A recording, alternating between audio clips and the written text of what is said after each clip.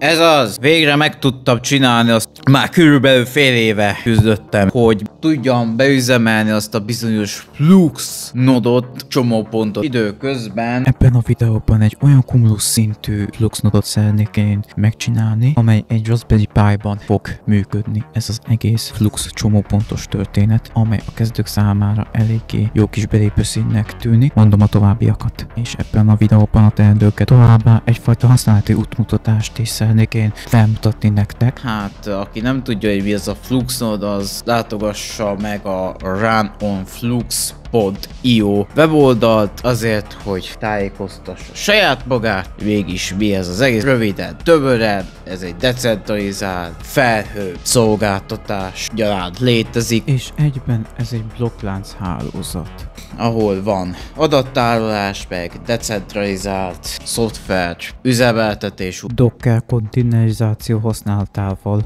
ugye a centralizált szervereket részben leváltására lett kitalálva, meg ott az IPFS-es decentralizált felmegosztás, ez olyan, mint a BitTorrent, Meg lehetőség van WordPress oldalt decentralizált módon üzemeltetni. szolgáltatásoknak a palettái, amely a Flux köré épülnek, azok szépen lassacskán már újabb meg újabb dolgok jönnek létre.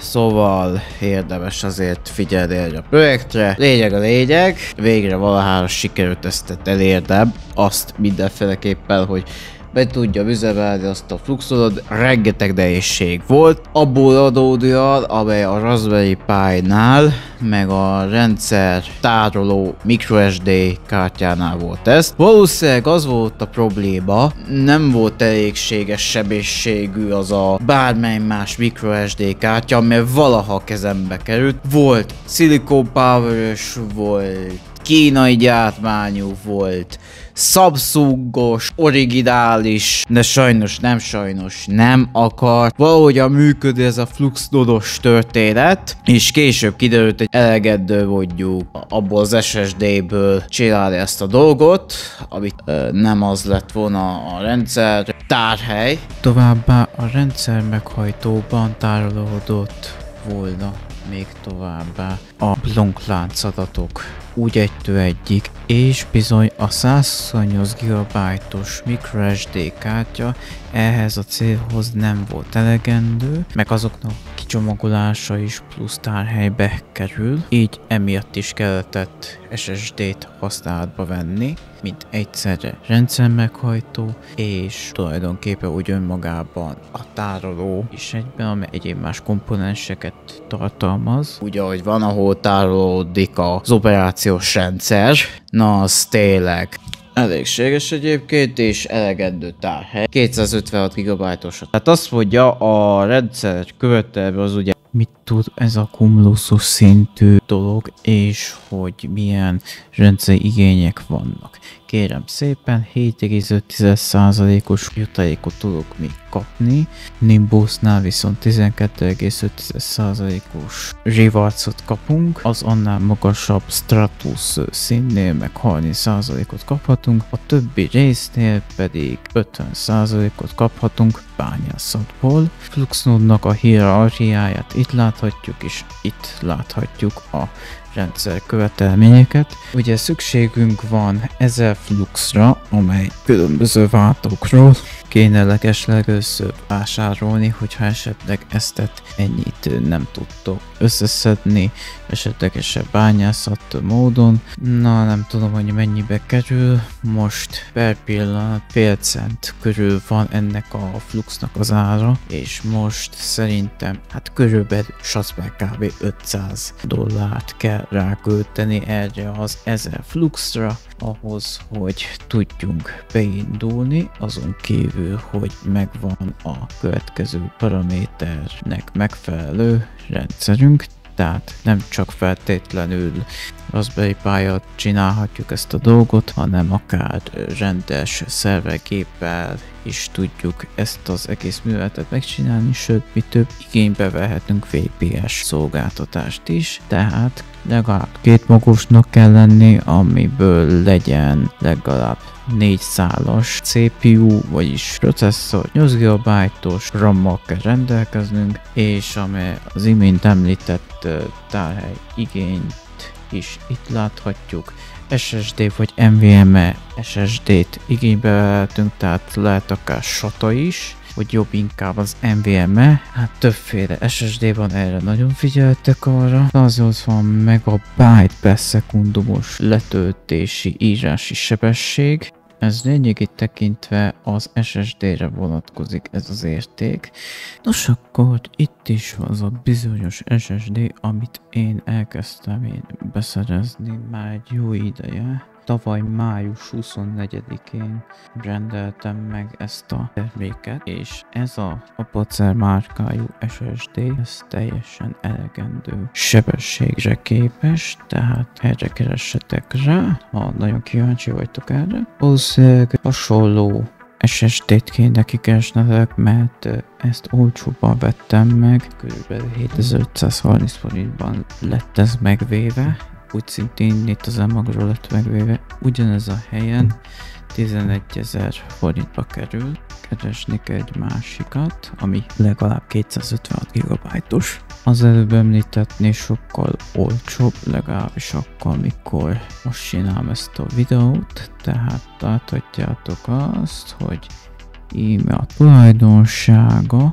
ez a legfontosabb, hogy elegendő írás és olvasási sebességgel rendelkezzen, meg fontos az, hogy a befogadó képessége miatt, ahol beszernénk rakni ezt az SSD-t, mindenféleképpen nem csak M.2-esnek kell lenni a foglalódnak, hanem NVM is legyen a NVM-ét használ, tehát ez nagyszerű, erre nagyon oda kell figyelni. Igen nehéz amúgy odafigyelni arra, hogy legalábbis számomra ez volt, hogy milyen konkrét SSD-t kellett választani, és ha bár olcsóbbat szeretnétek, akkor ugye lehetőség van ezt is kikeresni. Láthatjátok azt, hogy nem elég, hogy M.2-es méretű, meg foglalható ez, hanem még az a fontos, hogy NVMe. A Raspberry Pi-hoz van egy ház, NVMe bővítő lap és egy USB-C kábel. Nézhetitek ennek az árat, képernyőn ugye. Aha, vannak izé csavarok, meg bele van csatolva magához a főgéphez, a Raspberry Pi-hez. Egyébként ez az egész ház Media Center csinálása, tehát tervezve, de Fluxnode üzemeltetéshez kiválóan alkalmas. Tereljük össze! Nehéz amúgy tényleg, hogy szétszedjük eztet. Savárok! Jó, de mennyi? Ha? Két oldal ragasztó van rajta. Lássatok valami, ne csak én lassak valamit. Ide kell rakni a hőelvezetőt. Még véletlenül se hevüljön fel. Pillanatok vannak itt.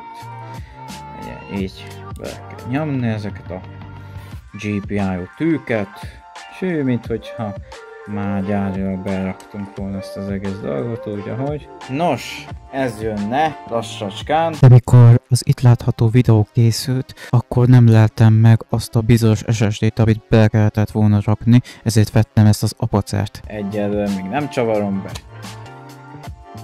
Nesze.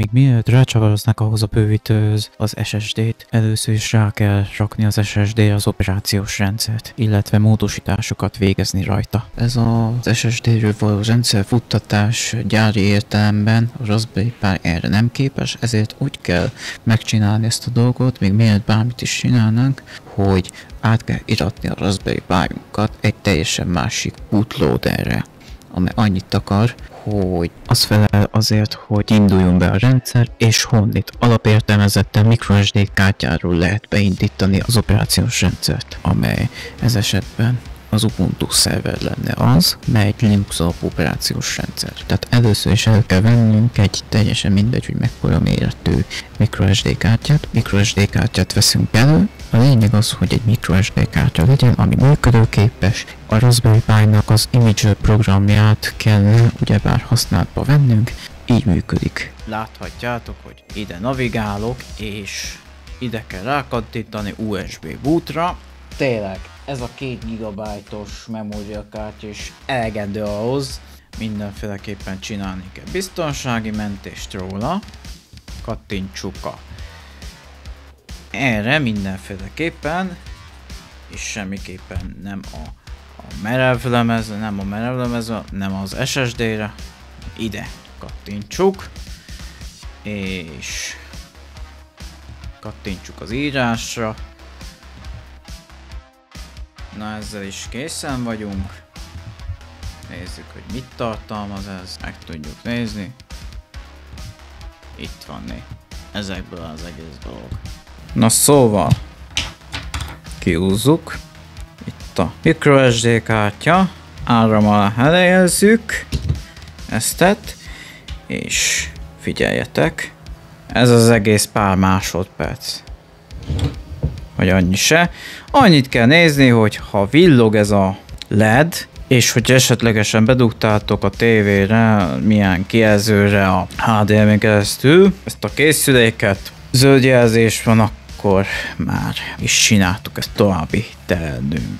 Természetesen most már továbbiakban nem lesz szükségünk microSD kártyára. Rendelkezek egy úgynevezett M.2 SSD enclosure-rel, amely lehetőségem van, mint külső adattárolóként használva venni az M.2-es NVMe SSD-t. Na itt van például az a Ugreen márkájú eszköz. Láthatjátok a típus nevét. Most ugrik majom a vízbe, bedugjuk ezt a enclosure-t, megvan a kábel, elővesszük a Raspberry Pi Imager-t, kiválasztjuk az egyik operációs rendszert, ami nekünk ténylegesen szükség van. Ubuntu 20.04.5-ös Ubuntu szerver töltsük le, és ne 32 bites legyen, hanem 64 bites. Ez nagyon fontos válasszuk ki ezt a tárhelyet, ahol fel akarjuk írni az egész operációs rendszert, és minden alapértelmezetten hagyunk úgy, ahogy van. Természetesen engedélyezve lesz a, az SSH hozzáférés, mivel ezért fontos ez, mert terminál ablakon keresztül fog mi irányítani ezt az egész rendszert. Az egész telepítési folyamatot ugye a Fluxnode telepítéshez. Nem egy külön számítógépként fogjuk ugye használatba venni a dolgot, úgy bod. Írjuk be a jelszót, azt lényegét tekintve fel fogja írni ezt az egész rendszert. Keressünk elő egy scriptet, amivel tudjuk mi majd a rendszert USB-ből, SSD-ből futtathatóvá tenni a Raspberry Pi számára, és különböző parancsokat, meg mountolásokat kell csinálni. Láthatjátok, hogy ezt a dolgot kell nekünk követni. Script, amit ugye mindenféleképpen használni fogunk. Most megerősíti, hogy minden a legjobb rendben van. Na ezzel már készen is vagyunk, nyissunk meg egy cuccost. Egyszer, mivel már megcsináltam ezt a dolgot, úgyhogy Annyit kell csinálnunk, hogy megnyitjuk a terminál ablakot. Igen. Itt van ez. SDB. Nekünk ez kell. Ez a külső merevlemez. Annyit kell csinálnunk, hogy hogyha, hogyha nem így jelenik meg, akkor tulajdonképpen nem így jelenik meg az egész dolog, ahogy, ahogy van, akkor ugye azt kell csinálni, hogy a, az ilyen partíciókat el kell rejteni. Így módon, úgy, hogy mentek a, az Edit Mount Options-re, kinyomjátok ezeket, meg nem formázni akarok te, ha meg ezt is ki kell nyomni úgy, ahogy van, és ilyen legyen az egész. Most, hogy láthatjátok, hogy igen, bizony ilyen könyvtárt már létrehoztam egyszer. és ezt tehát ugye át kell másolni, ugye, és át is kell írni, mert hogyha SDA van, akkor SDA-t kell beírni oda, hogyha SDB, akkor SDB-t kell beírni. SDB 1. És most már mountoltuk belefelé ezt a dolgot. Na jó. SDB 2. Na most már ezt leabszolváltuk dolgot, hogy becsatoltuk ezt a dolgot. Így. Né? És aztán ezt a, az eredetileg bonyolult dolgot egyszerűsíteni fogja, és már meg is oldotta ezt a dolgot. Most már mo most csak azt kell csinálnunk, hogy leválasztjuk ezeket az ilyen dolgokat úgy, hogy beírjuk azt, hogy you mount writable és azt mondja, hogy boot és ö, ennyit kell csinálni. Már feldolgoztuk ezt a nehéz dolgot. Ami a Raspberry Pi-nál ez nagyon fontos, sőt az általán felvázolt módszerrel kerülhetjük. Minden meghajtónak a montolását el kellene valaha végezni, ugyanis nem kell azzal küzdeni, szüttyögni, hogy az automatikus meghajtó csatolást elvégezzünk, ugye már külső meghajtónak számító, ami nem microSD kártya, mint rendszer meghajtó. Szükséges SSD-t valahogyan belemountoljuk, vagyis hozzácsatoljuk az egész operációs rendszerhez automatikus módon. Tehát nem kell UID-t átmásolgatni ide-oda, amely vagy működik, vagy nem működik. Viszont a sima egyszerű PC-nél, vagy a sima egyszerű szervereknél ki úgy hívja. X8664-es architektúrai számítógépeknél ezt nem kell csinálni, de valami a Raspberry Pi-hoz való Ubuntu szerver operációs rendszernél ezt meg kell csinálni. Amúgy apropó, apropó, Ubuntu 20.04.x LTS operációs rendszert igényel az egész dolog, ugyanis csak is kizárólag, legalábbis akkor, amikor csinálom ezt a videót, ezt az operációs rendszert támogatja, az annál újabb, frissebb verziójú Ubuntu rendszert valamiért nem támogatja, vagy annál újabb Debian sem támogatja, ezt is meg kellett élni amúgy, mert hát másként az a bizonyos script, amivel a Flux nodot tudjuk varázsolni a kisméretű számítógépen, ezt másként nem engedi, hogy felrakjuk. Úgyhogy ez az egész dologgal már befejeztük. Egyébként igen, már ráhelyeztem ezt az NVMe SSD-s adattáró dolgot, és most így helyesen belehelyezzük. Becsavar gépnél, visszatértem. Kell csinálnunk per pillanat, hogy ilyen IP címet kapunk. 192.168.50.200-as a helyi IP címe ennek az egész dolognak. És amúgy fontos megjegyezni, még mielőtt bármit is csinálnánk, fontos a port nyitás, ettől eltérő felülettel rendelkeztek, akkor máshol kell belépni. Nálam azt kell csinálni, ez az Asus routerrel, hogy, hogy fontos, hogy ilyen be, beállítások mellett legyen ezek az ilyen portnyitások. Első részt fontos az, hogy 161 24 és 161 29 közötti port tartományban legyen nyitva a nagyon-nagyon nyílt internet kapcsolat felé, ez az egész ilyen adatforgalom, amit ugye szeretnénk ugye küldeni, illetve másodrészt pedig 30 ezertől egészen 39.999-es portig, tehát TCP és UDP egyszerre egyaránt legyen használatba véve az egész dolog. És ugye valahogy itt kell megadni azt, hogy milyen legyen, mi legyen a neve ennek a, a kettes ponttal helyettesíthetjük ugye a kötőjelet, ugye, hogy tóig.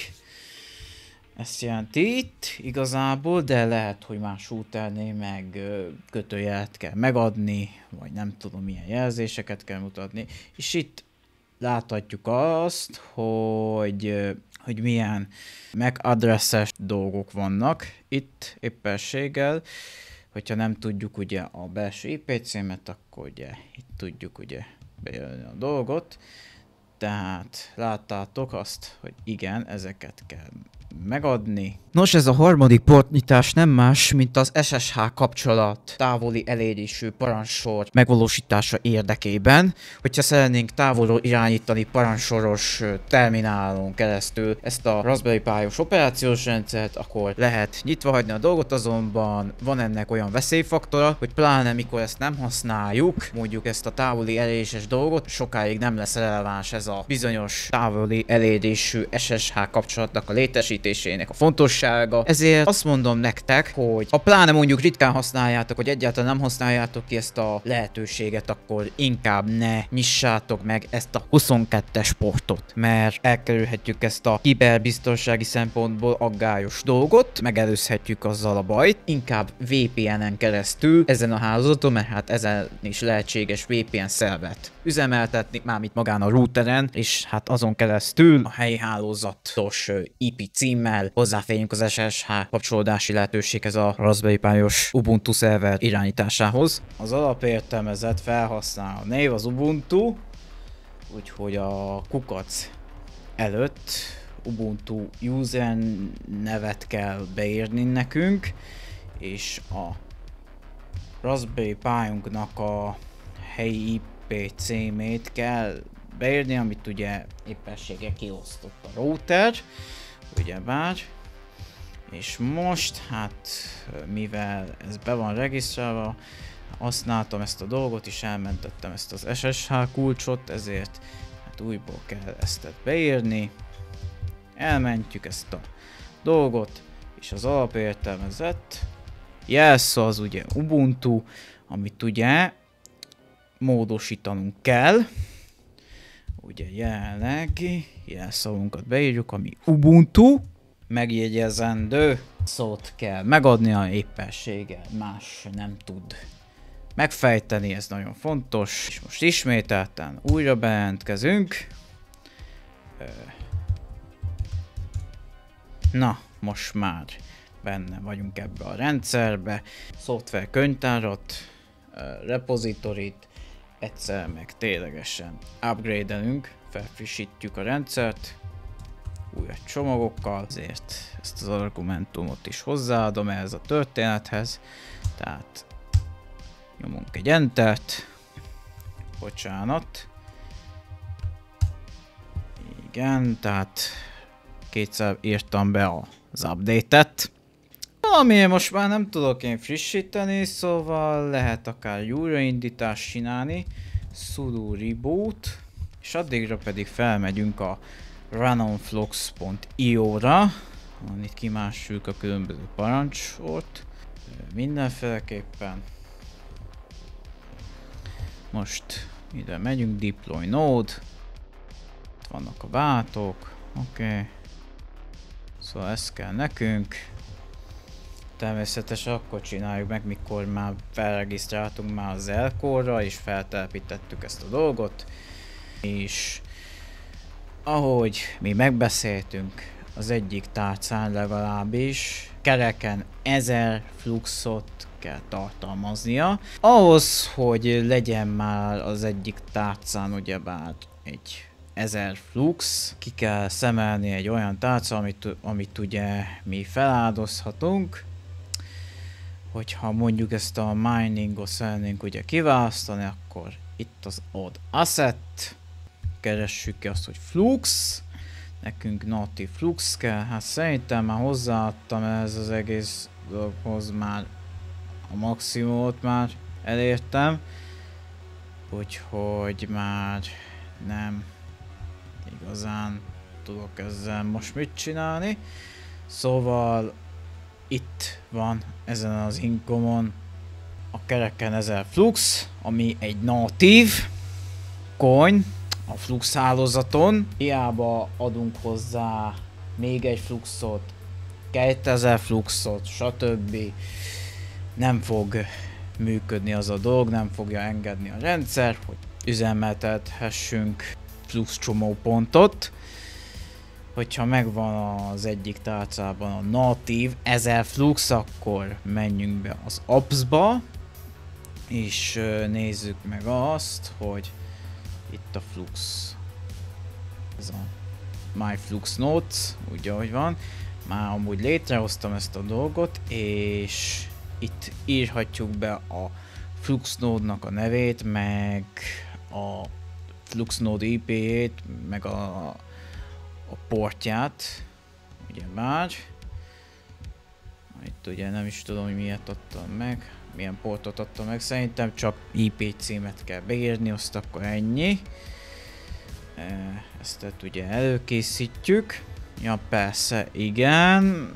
Itt van az appsnál is, úgy szintén ez a Fusion dolog, hogyha nem natív tokent vettünk, BEP20-as Flux tokent vettünk, akkor ezen keresztül kell átváltani natív tokenre, amely le fog venni BEP20-as tokenről, vagy nem tudom milyen hálózaton belüli 5 fluxot fog levenni, meg meg a hálózati díjat is kell fizetni, hogyha BEP20-as tokent küldétek ki, akkor BNB tokent is kell tárolni az időtájt, ameddig nem váltsátok át natív tokenre a dolgot. Nos, hogyha natív token szeretnétek vásárolni, akkor a CoinMetrot ajánlanám nektek figyelmetekbe. Sőt, nem csak azért reklámozom nektek ezt a CoinMetrot, mert lehetőségünk van natív Lux tokent vásárolni, elkerülve a felesleges díjakat, sőt, még stakingelhettek is ott pixelhetem dolgokat, hanem még hogyha a leírásba található linkek keresztül regisztráltok fel a CoinMetrora, akkor kaphattok 10 dollár. Link a leírásban. Nézzük meg!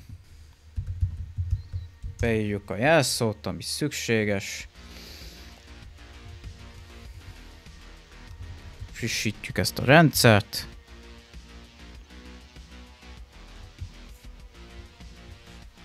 Ez plusz időt fog igénybe venni.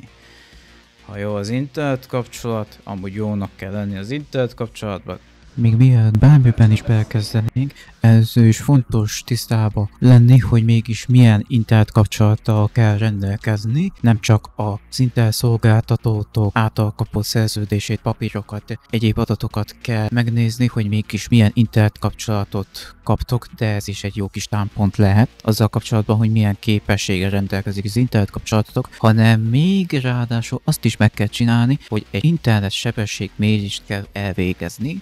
of figyelmetekbe ajánlanám nektek azt, hogy vezetékesen, számítógépen és nem wifi-n keresztül, nem feltétlenül csak is kizárólag webböngészünk keresztül, hanem parancsolos módon, de úgy szintén speed testet használva az internet kapcsolatotok sebességét. És ha bár a követelményben megabyte per szekundumban van megadva, mint elvárt sebesség, viszont az internet szolgáltatók és a sebességmérősdik azok általában megabit per szekundumban adják meg az adat adatforgalom sebességét, ezért mindenféleképpen át kell váltani megabit per szekundumról megabyte per szekundumra az adatforgalmi sebességet. Kapott eredményt? Na szóval, uh, sok idő után már sikerült már frissíteni ezt a dolgot. Most futtottunk egy ilyen scriptet, amely az Argon 40-es cucchoz való, méghozzá ezzel tudjuk mi irányítani. Ezzel a scripttel a burkolathoz tartozó ventilátort, akár behagyjuk kapcsolva mindig is ezt a burkolatot, nagyon forró helyen vagyunk, és nem alszunk mellette, akkor bármennyi zughat, de hogyha nem szeretnénk azt, hogy állandóan zúgjon az egész dolog, akkor mindenféleképpen lehetőségünk van bekonfigurálni azt, hogy hány foktól kezdve kapcsolódjon be a nagyon normális eset egyébként, amikor mondjuk 50, meg mit tudom én, 60 fok, de 65 foknál működik ez az egész dolog. É, de, de akkor, amikor már eléri a 90 fokot, akkor már nem lesz túl jó dolog, mert hát korlátozni fogja a sebességet úgy, ahogy van. Nos, a másodikra megyünk váltjuk azt, hogy jó, hát most fogjuk kiválasztani, Oké, okay, tehát hány foktól induljon be a, a ventilátor? Azt mondja, hogy 61 Celsius-tól, és legyen 100%-ra emelve a sebesség, hogyha befejeztük, akkor oké. Okay. Nem fog már a az alvó szobában zavargatni ez a dolog. Mindig. Szóval az scriptet, amit ugye futtatni kell a flux telepítéshez. Most letölti ezt a dolgot. Jaj, most mi van már?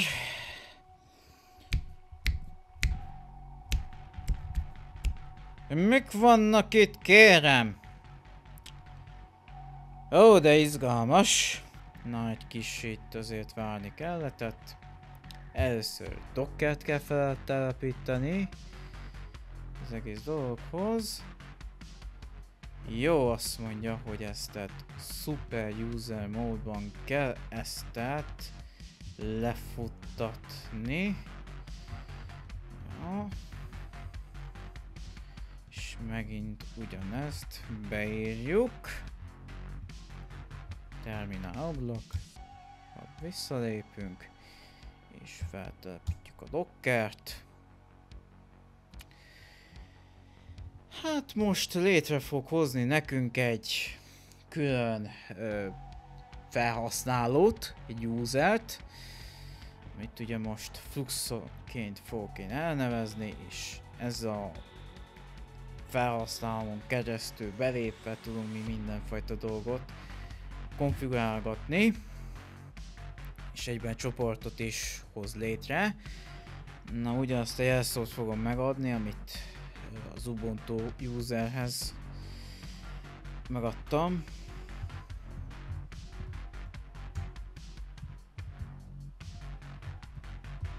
Ott nem jelenik meg az, hogy hány karakternyi jelszót írtam be. Abszolút te. Jó. Na. Na.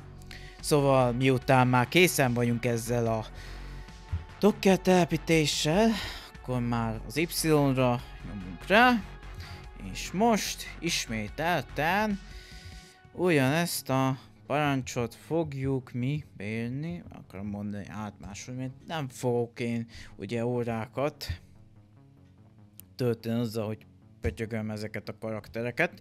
Na most itt a lényeg, írjuk be azt a jelszót, amit mi megadtunk user létrehozásakor. Jó. JQ-t, meg Mongo database-t fogja még feltelepíteni.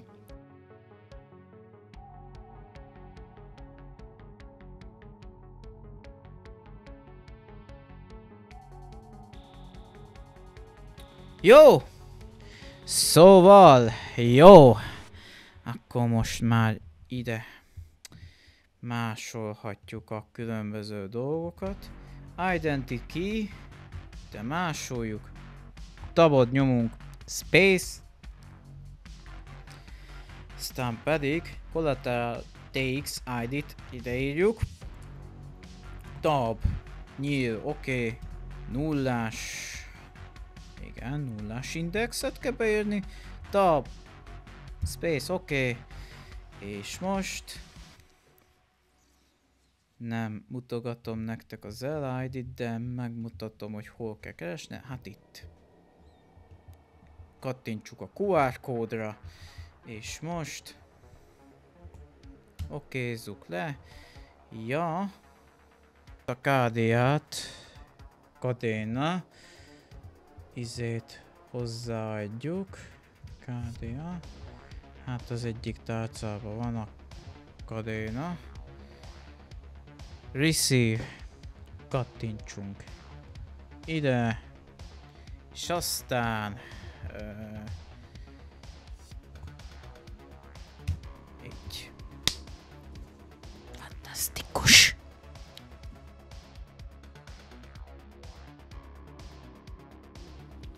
Ide nyomunk most.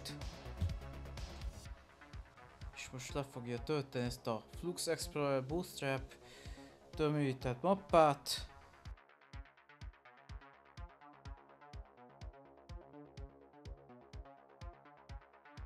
Szóval, menjünk tovább.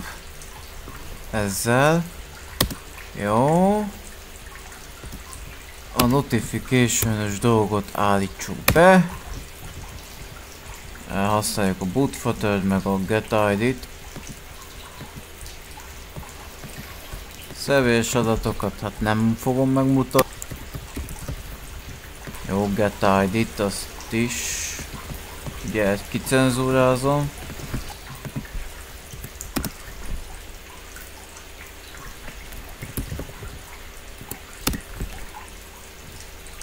Megadtam az aliaszt is az egész nodnak. És hoppácska. Összeszinkronizálódott már. Elvileg. Csinálni fogja a benchmarkingot.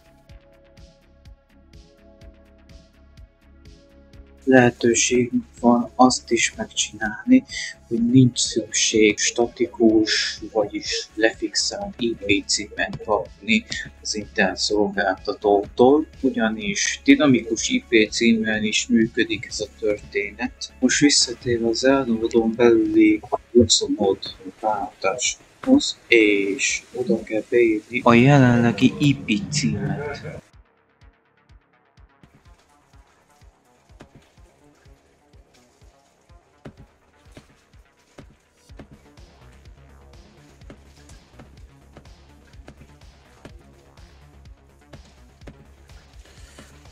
Oké. Okay. Oké, okay, megy a benchmarking.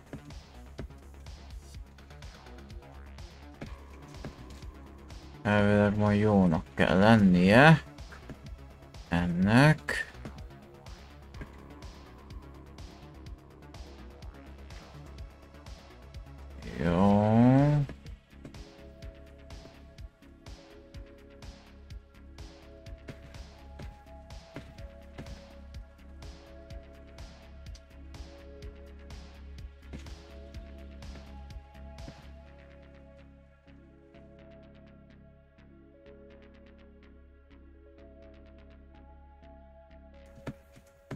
Már elvileg működnie kell az egész dolognak. És nézzük meg azt, hogy mi újság van a benchmarkinggal. Hogyha itt már teljesen tiszta, hogy már mi a benchmarknak az eredménye, akkor lényegét tekintve mássuk be a jelenlegi IP címünket ide valahova, és aztán kattintsuk ide, start node, és valamennyi idő múlva már be is indul a mandula úgy, ahogy Na sok sikert ez az egész dologhoz, köszönöm a figyelmeteket, szavaztok!